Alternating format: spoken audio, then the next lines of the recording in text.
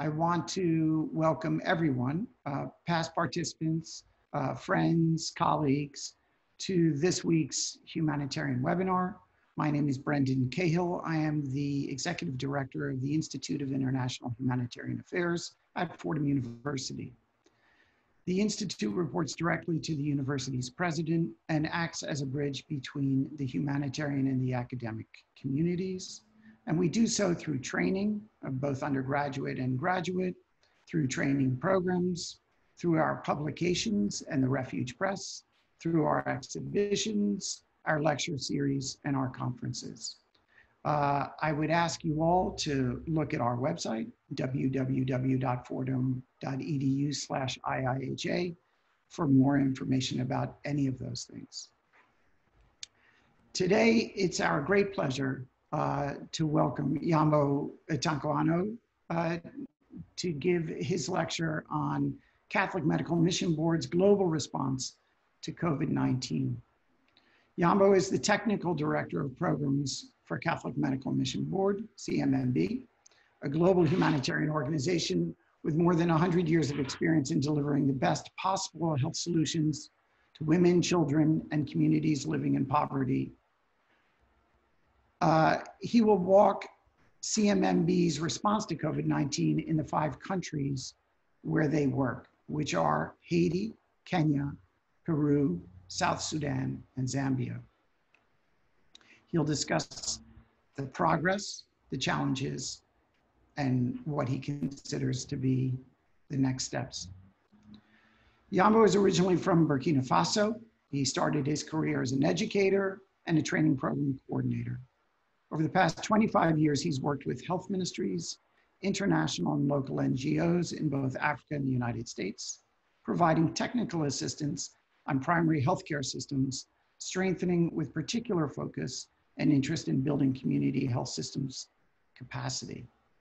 Since 2017, Yambo has served as the technical director of programs at CMMB, leading the, the technical teams at headquarters and in country offices in the conceptualization, design, development, implementation, and data-driven quality improvement programs globally.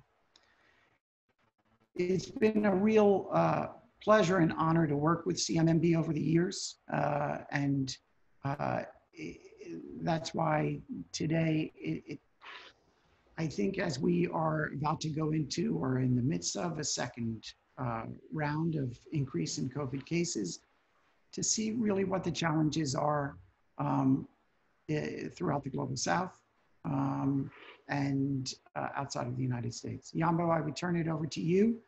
Uh, we'll follow by questions. Uh, so please keep your questions coming. But until then, uh, the next 20 minutes or so will be all yours. Yambo, thank you very much.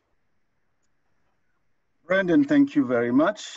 Uh, good morning, everyone. I must say, this is a, uh, for someone who has two little people at home who don't want to hear what I have to say, this is a great morning to have 29 people adult people want to hear what I have to say. So thank you for joining me. Uh, again, my name is Yombo. Uh, I am the technical director uh, for programs at CMMB. And uh, through this presentation, I just want to kind of hit the following points, who we are, where we work, what we do, and exactly what we're doing uh, against, against COVID. Uh, we are a faith-based organization uh, headquartered in New York City, uh, but committed to uh, redressing health inequities for women and children around the world and in some of the most uh, difficult places. Uh, you know, our international volunteer program uh, helps us reach countries and, and, and places with, with medical services you know, where it is, it is harder to get. Our medical donation is uh, as a further reach. Overall, um, I think my, my, my screen seems frozen, sorry. Whew. So as Brandon was saying, we are in, in five countries, but through the, the, the, the, medical donation program, which is one of the legacy program of the organization, we reach uh, a lot more organ, uh, countries. Uh, we are physically present in the five countries that Brandon was mentioning, in Peru, uh, Haiti, Zambia, Kenya, and South Sudan, where we have offices and, uh, and, uh, and you know, programs. And our programs are focused on, um, you know, two two main areas in, you know, health system strengthening and, um, you know, capacity capacity building. So, uh, in uh, in these five countries, we um, uh, if you go country by country, we have projects uh, in a, in a, in a, in Kenya we have uh, an HIV uh, program that is supported by the Global Fund, uh, and also a malaria program. Um, and then we have a, a, maternal, newborn, and child health, our MNCH signature program that I will talk uh, talk more about. Uh, in Zambia, also we have HIV programs. We have uh, SGBV programs. We have um, uh, SDVCA, which is vulnerable children and adults programming, and nutrition programming. Uh, in, uh, in Haiti, we have HIV program as well. Uh, we have a primary healthcare system strengthening uh, through USAID. Uh, and in Peru, we have mainly maternal, newborn, and child health, along with a GBV uh, program and a community-based rehabilitation program for uh, disability. In South Sudan, we just closed a large HIV program, but you know, starting along with other countries as well, a, an expansion of, our, of our MNCH uh, program, the, uh, the CHAMPS signature. And we, we do also intervene in nutrition supported by uh, UNICEF and WFP, and so altogether in 2019, through these programs, CMMB reached about 1.4 million people uh, just through our programming. And as uh, we're saying, we focus on mothers and children because, you know, as we all know, uh, women are disproportionately uh, affected by uh, poverty, and, uh, and lack of health, uh, uh, health services, access to health services that are the most hit. if you take on a household basis, most women don't have a means of transport. per household, most means of transports are concentrated in the hands of men. So they're not, even though they are the primary caregivers, they really don't have the physical ability to, to access uh, services uh, easily our uh, MNCH program, uh, the, the signature program that I talked about, which is really aiming at women and children, is done so based on uh, the gaps that we have found in, uh, in, in these countries, in these locations. And this is a result of so many years of you know, global health work, as uh, many of us know, uh, we have come so far from, uh, you know, between 1990, the 1990s to 2015, and now, you know, stepping on 2015, the results of 2015 uh, into 2030.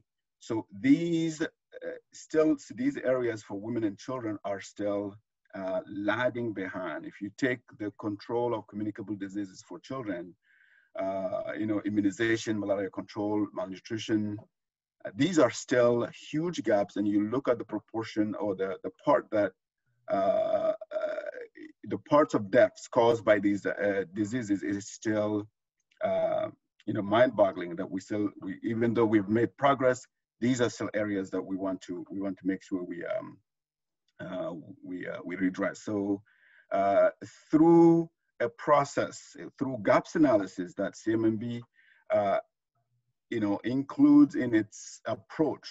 I know we selected these uh, programmatic areas uh, to, to focus our interventions on uh, so that we can uh, make a difference in the lives of children and, uh, and mothers. So we, when you consider the portfolio that I just described, it looks like a disparate, it's a disparate set of projects, but at the end of it, it really is aiming at the, the broader mission of improving the lives of, uh, of women and children. So it is in this context that we at CMMB, we, we looked at COVID when, when the pandemic broke.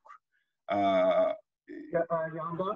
Yes, I'm. I'm sorry to interrupt, but if we just go back to the CHAMPS model, uh, and I'm, I'm Luke Dougherty, I'm the Director of Communications uh, for CMMB. For, for CHAMPS, can you talk a little bit about the, uh, the commitment that we make to each one of the communities uh, in terms of the years of service when we go in? Because um, the, really what we're looking for is sustainable change. Um, but we also do not want to be in these communities forever where yeah. education and training is a huge part of what we do. We, we do know that it's a lasting commitment that will bring lasting change, but really it's the handoff and being able to train and educate. So at some point in time, there's a self-sufficiency within these communities. Thanks, Luke. I mean, it, you know, there, there is the question. I think someone was, before we started this conversation, someone was uh, referring to the question of how do you sustain uh, global aid and humanitarian aid?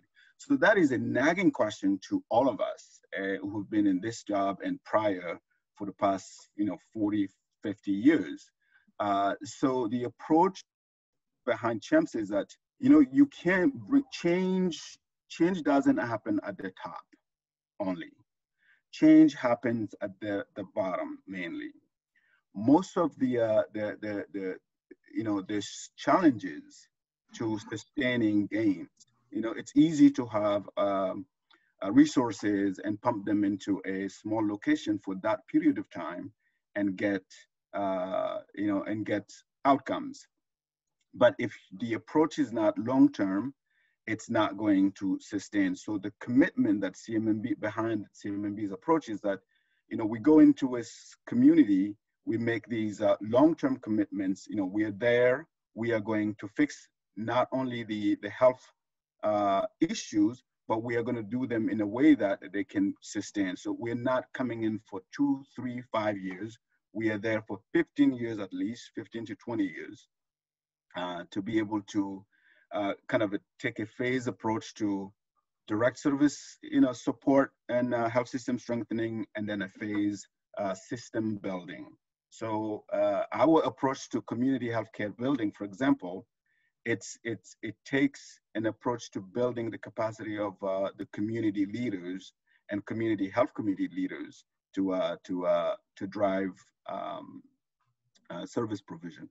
Right. And Gamba, if I could also add, it's why it's so important that in our country offices, each of our country offices is actually run by local national residents uh, of the countries um, that we're in. Thanks. And so just a quick glance of, at the, the numbers when you compare between, you know, COVID cases and COVID deaths in our countries against you know, you take one of the communicable diseases that I was referring to, malaria, and so you can see the striking difference, how many, you know, the burden of disease. Uh, this is not to discount the fact that, you know, COVID was still a threat. So we approach COVID as not just a direct threat to, uh, you know, people who get it, but also a direct threat to the services, the mission that we have set you know, to to to we embark on for the longer longer haul, the commitments that we've made uh, with the with the community communities. Uh, so we are now how many months into this pandemic? The numbers speak for themselves. Uh, but back already back uh, in the early days, um, I think March, mid March, CMMB was already proactive in, in, its, in its approach. We went full, at the office, we went full uh, remote. I think mid, uh, by mid-March, we were already full um, remote. And then uh, kind of looking at the, um, the, what was at stake in our countries, uh, we started really uh, looking at the broader picture of how do we respond to this, right? And so how we responded to this immediately uh, we we the within the programs and uh, in the broader organization it's supporting the country offices and uh, kind of planning and assessing the readiness uh, and and uh, you know making all the plans possible so that not only people are safe staff is safe uh, communities are safe but also we can keep on doing providing the the core work that we are there to do. Uh, these business continuity plans kind of took from the office level down to the project level to the activity. How do we make sure that what a community health worker was supposed to do at the household, the, the, the malnutrition assessments that they were supposed to do at the household, how do we keep that going while keeping the healthcare worker safe and the community safe? So we kind of delve into project by project uh, to kind of take a look at what can we do, also looking at the, the the lockdowns that were in place, the lo local, uh, national guidelines that were in place. And then we went on to, uh, you know, rapidly put together the the, uh, the, the first sets of trainings because when it, the pandemic, everybody was uh, everybody was learning, uh, you know, including here. So we understood the need to to bring staff up to speed. So we put together all the resources that we could uh, to and, and, and, organize rapid training for both facility staff and um, and community health workers and communities. Uh, but then there is, you know, it's uh, once we understood that this is for the long haul, the response should not just be a, a an immediate and and not you know thought for the long. So we we we decided to to to have a full on health health facility assessment uh, for preparedness because we knew that even though it was coming slowly, but it was eventually going to come to, to our countries so that we can have a better, a better picture and a better response. And this is also can just part of how CMMB does its work. Within our CHAMPS approach, we, we, we for each CHAMPS, we have conducted gap, gaps analysis, and this is how, this is what drives uh, our programming, this is what drives our you know, partnerships, etc. And so in this, in, in, in that health facility assessment, uh, we uh, looked at uh, about little exact 253 facilities. This is, uh, a, you know, uh, CHAMP specific and project specific. So donor funded projects as, as well as uh. So that's a total of 253 and gathering, uh, you know, uh, up to 8,000 healthcare workers. It doesn't mean that we, you know, directly supported uh, in terms of uh, healthcare workers, but they were within the catchment that we, we, we, we supported. So we assess the readiness and preparedness for, for across all these in terms of you know, sanitation, hygiene, personal protective equipment, and not just having them, but also how to use them, you know, training the healthcare workers on how to keep patients safe, keep themselves safe, infection prevention control, cleaning, etc. And, uh, you know, tri triage and isolation uh, capacity in, uh, in the community, at facility, etc. And so- uh, Yambo, can I add one other thing there? Please. And I think it's the, the foundational work that we have done over the years that had made these assessments so effective for us. Um, because the relationships that we have, not only with the local and the national governments, but with the community themselves, the foundational work was done. Um, and that allowed us to make a, a fairly efficient and effective assessment. We were able to move very quickly on it and the other part of it, and I don't know if you want to uh, talk about this at all, Yambo, is that the number of years that we've been in these various communities, um, you know, our staff uh, has helped uh, and has been through pandemics before. And the lessons learned, you know, whether through HIV and AIDS or cholera, Ebola. Uh, so th there have been uh, lessons learned along the way that, that have been applied through all this as well. And if you want to add anything to, to that, Yambo. Right. So I think in terms of uh, pandemic response uh, lessons, I think it was more um, it was more applicable to South Sudan. You know, where they, they, they face uh, outbreaks of Ebola uh, frequently.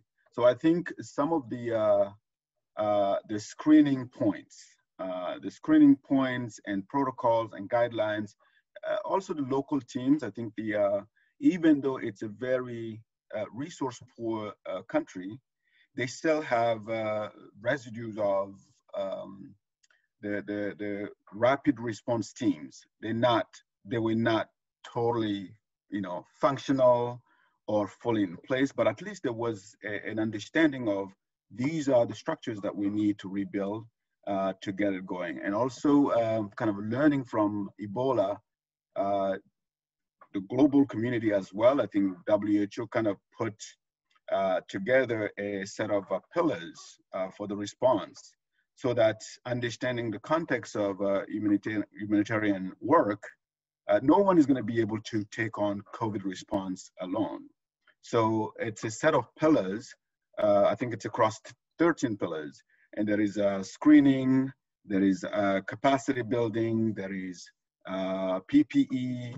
So partners would, would through those uh, frameworks of rapid response teams, they will decide who is better placed based on their experience and capacity to take on which pillar. thanks, Luke. Uh, this is a snapshot. Uh, it's a full, uh, thoroughly done uh, health facility assessment with a complete, uh, uh, you know, suite of indicators that we reported on. But this is one example of this assessment, kind of looking at the training for healthcare workers. Um, and um, hold on, this is not, yes the training of healthcare workers and uh, the uh, their um, uh, the proportion number and the proportion of healthcare workers across the, the countries. Obviously, we have a lot more in Haiti, and you're going to ask yourselves why. It's in part because of that huge um, USA, uh, the primary healthcare system uh, system strengthening project up north in Haiti that we uh, we we are running. Uh, so you will see, for example, that in a country like South Sudan, where the needs are great, that out of 215 healthcare workers, only one was trained in PPE, and only six were trained overall. Uh, that's just how much it was. Granted, we can say that the cases were still low. Uh, this uh, this assessment was conducted uh, between April and May. So you can say that, yes, numbers were still low, but in terms of preparedness, I think there was just not, even in the broader global community, there was just not that approach. That approach to let's figure out what the problem is and where it is so that we can better uh, confront it. I don't think there was. And CMMB, luckily, CMMB was was kind of able to bring this to uh, uh, to the table. And so our response across, the, the five countries kind of uh, cut across uh, a number of, of those, uh, those pillars, uh, whether it's training or wash infrastructure or, or PPE. So it depended on you know where the need was and in that country what partner other partners would were, were, were, were doing. In uh, haiti i think the um, one great example was, for example, for CMMB, uh, uh, supporting uh, the, the, the, the, setting up of isolation centers and, uh, and uh, health, um, hand washing stations at the, at the hospital in, uh, in the Champs catchment where we are in, in Cote d'Ivoire. In addition to just the support, you know, to training community health workers and providing them with PPE and really guiding them through uh, the, uh, the, the, the, continuity of services uh, while sometimes the government were asking them to social distance. So there was a moment that they were supported to just do remote uh, and, um, and sensitizations, but then we were able to pick, pick back uh, uh, work. This is a very, um, an example of our mail update. I think the, the M&E manager is in the in the crowd as well. She could she could add to that. But we we frequently kind of share these broadly to just keep everyone uh, up to date on the work that CMMB is doing. And that's um, uh, in for FY20, the third, the third quarter. Uh, you see, for example, about 25, 26,000 individuals were reached just with, with messaging uh, through, uh, through the community health workers. And that was Haiti.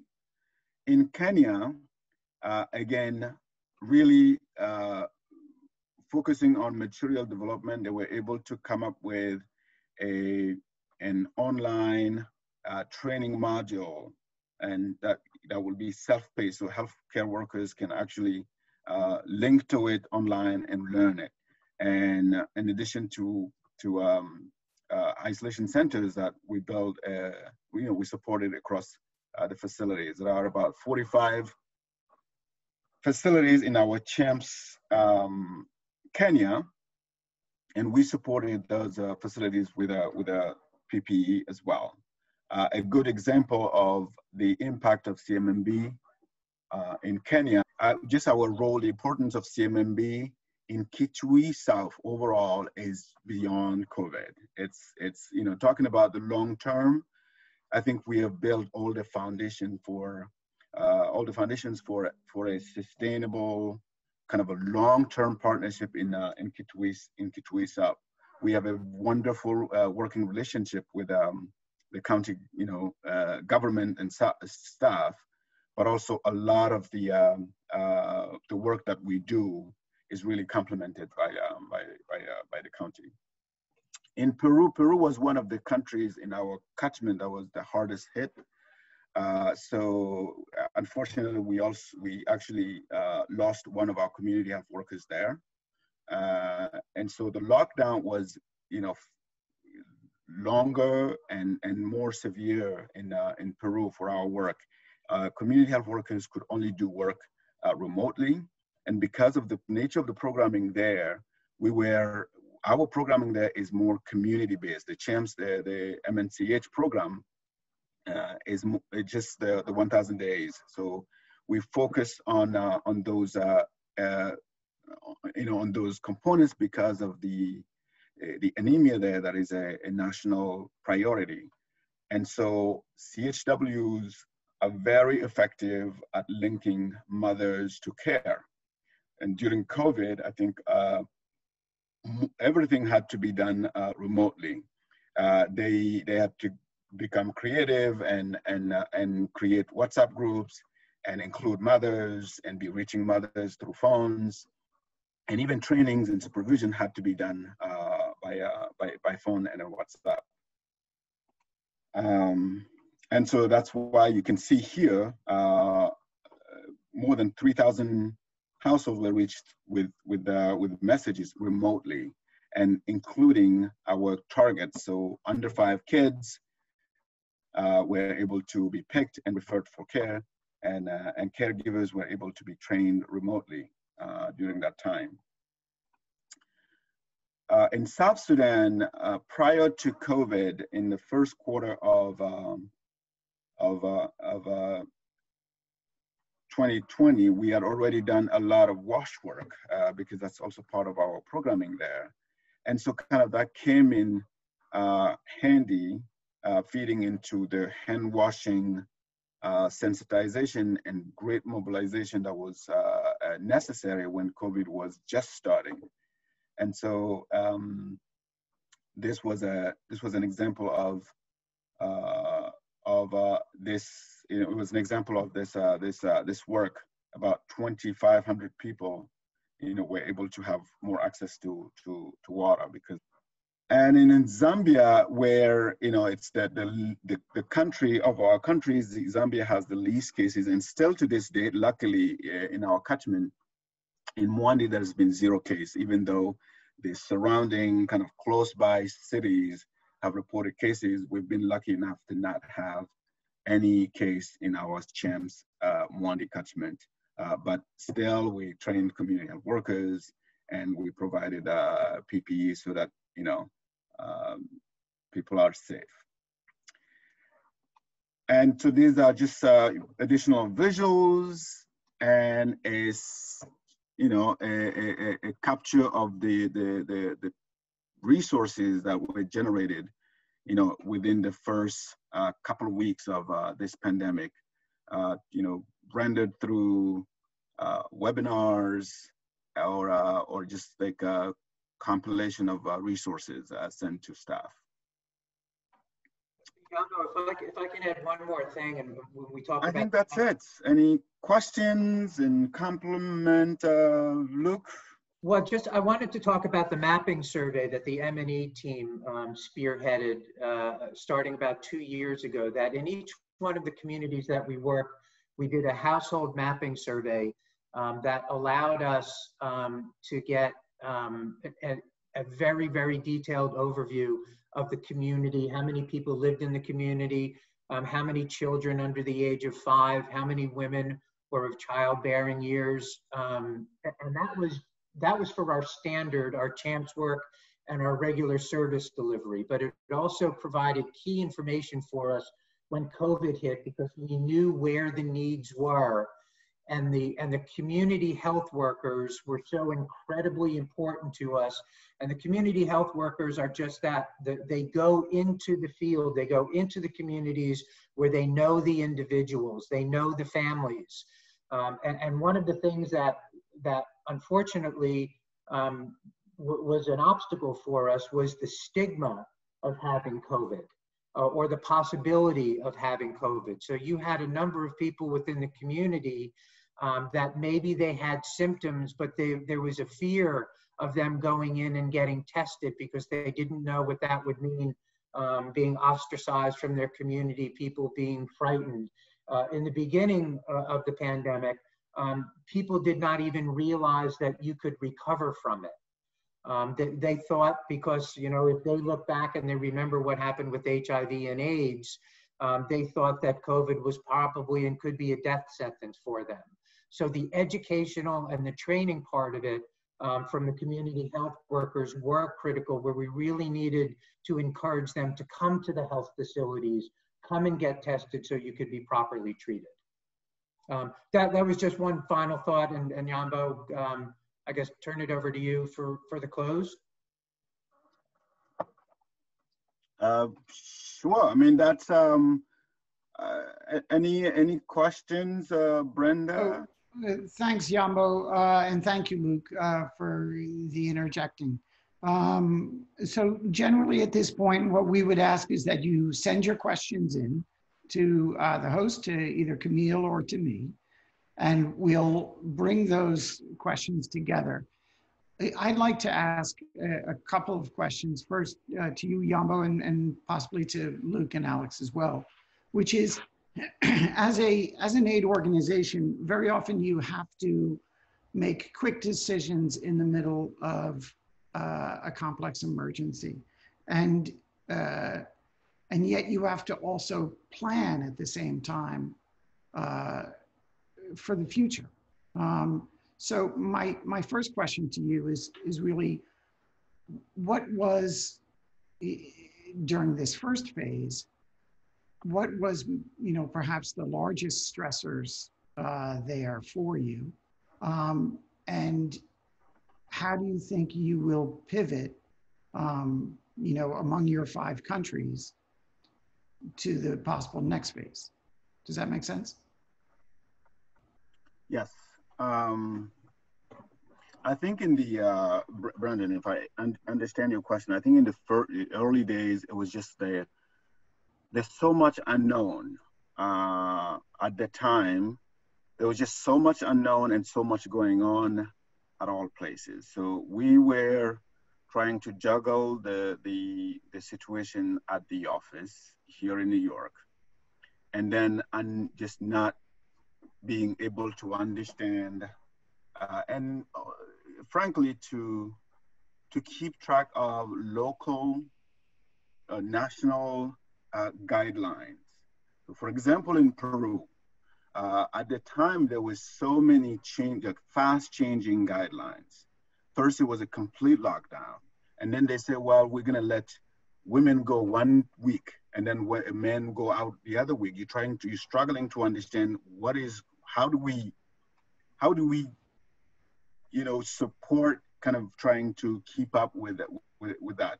In um, in South Sudan, uh, for example, I mean, even though there was lockdown, there was just not, you know, there was no capacity to enforce a lockdown. Markets were going on, churches were going on, just you know, normal life because people needed to make a living.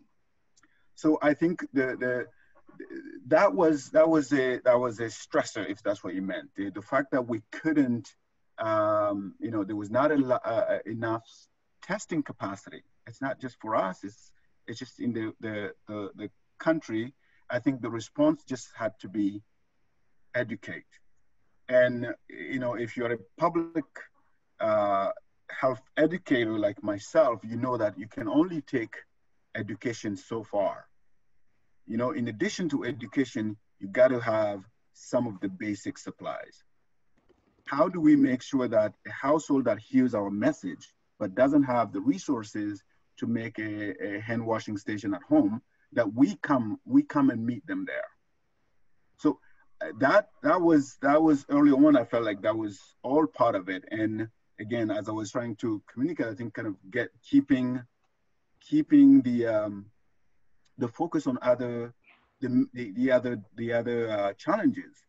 Yes, COVID was a, a, a, high risk, but kids were still dying of diarrhea and malaria. And so, how do we balance that when people, when staff is saying, "I don't want to go to, to work, I I'm sick," kind of either pretending or just not feeling confident. Uh, looking forward, I think we feel like where we are, we are we, we, this assessment that we just uh, talked about, uh, we are doing a second one to understand where we are at this point. So it's like a redo of that. Uh, and we had planned to do that at the, anyway. It was a baseline, and then we're going to check ourselves and say, where are we right now?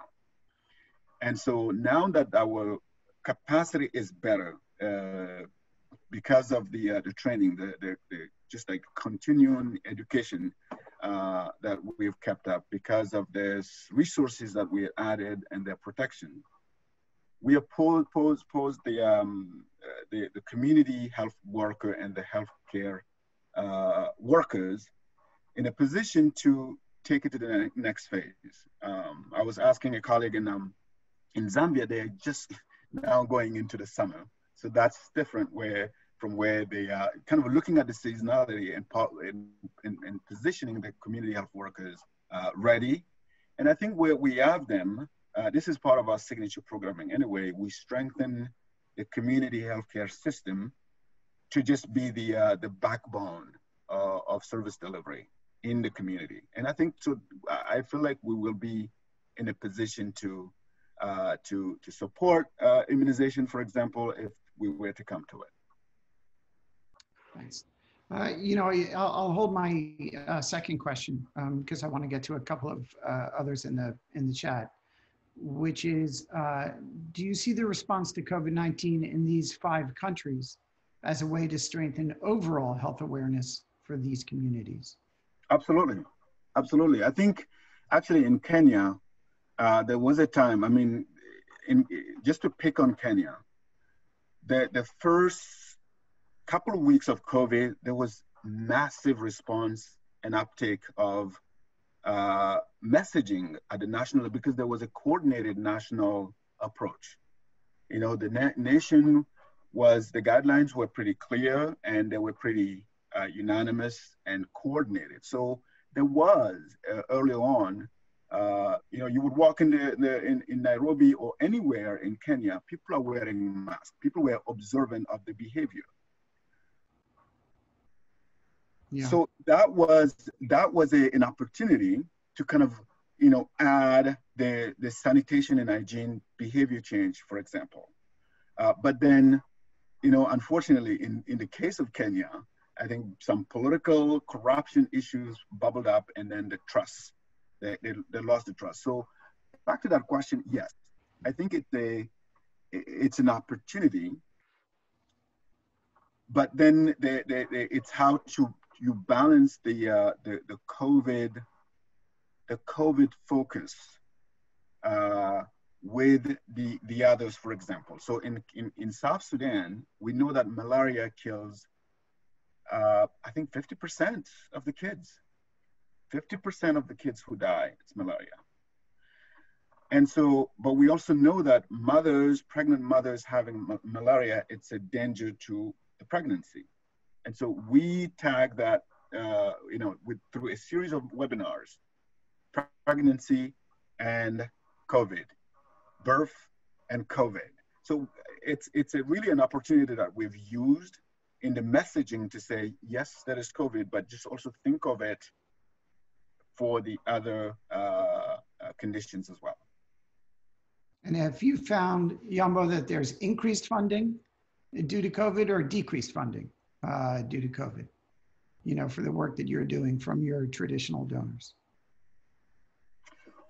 Well, I, maybe uh, Luke, you can come in here, but I do think that we, I mean, in our global response, we've been successful. Uh, we've been successful in raising resources for COVID response. Uh, and a number of a number of um, you know funding uh, funding opportunities have come up tied to system strengthening but tied to COVID. Uh, but I don't know. Luke, what do you think? I think, I mean, and it's an infor- it's actually kind of an unfortunate um, way to look at it, but it has raised the awareness level of the overall needs. So in that regard, um, it has helped a bit with our fundraising efforts, and I would say that's probably both in terms of our individual donors uh, as well as um, corporations and, and, foundations as well. But um, the, it, it is COVID, but but we are trying to expand, you know, the awareness of the of the overall needs because you know, as Yombo was referring to with um, you know malaria, malnutrition. Um, that these are these are still ongoing issues and ongoing problems that we need to raise the over aware the overall awareness level on as well, on top of what's going on with COVID. Right. Um, another question in is, uh, what do you think these countries must do to avoid or lessen the, the second phase of the attack of this pandemic? Right, so. Uh, what a what a million dollar question. I think, uh, to be honest, I I, I think uh, one is the the, the awareness of prevention. Prevention has to be uh, kind of ongoing and, and, and central. Uh, the reason why I say that, this is, this is my opinion, is that testing, we can take the approach of test, track, and treat. We can't because we those countries will not have the resources, the testing capacity to do that. The ideal would have been let's test and track just like we do for TB. The reason why, you know, you get a, a TB symptom, you go and test, and then they isolate you and then they treat you so that, you know, they will test all your families because that is, we have the resources to do that in Kenya, South Sudan, Zambia, and the other countries. But for COVID, I don't, I don't think that we'll get to that capacity anytime soon. So any strategy that we, you know, we, we, we, we mold cannot be dependent on our capacity to test. It has to be people need to try to uh, avoid uh, getting the disease. The second, the other part is from the health system side, I think we need to, those countries that were still hesitant about strengthening their community health systems, I think this is another uh, uh call. Your community health systems, they have to be uh, strengthened. And what does it mean? it means that the language about volunteer community health workers, that doesn't work anymore. You cannot put a, you cannot ask a voluntary person to prevent health, uh, prevent disease uh, in a child, you know, every day or on a routine basis. So I think that has to kind of just move the needle for some of the countries that are still on the fence.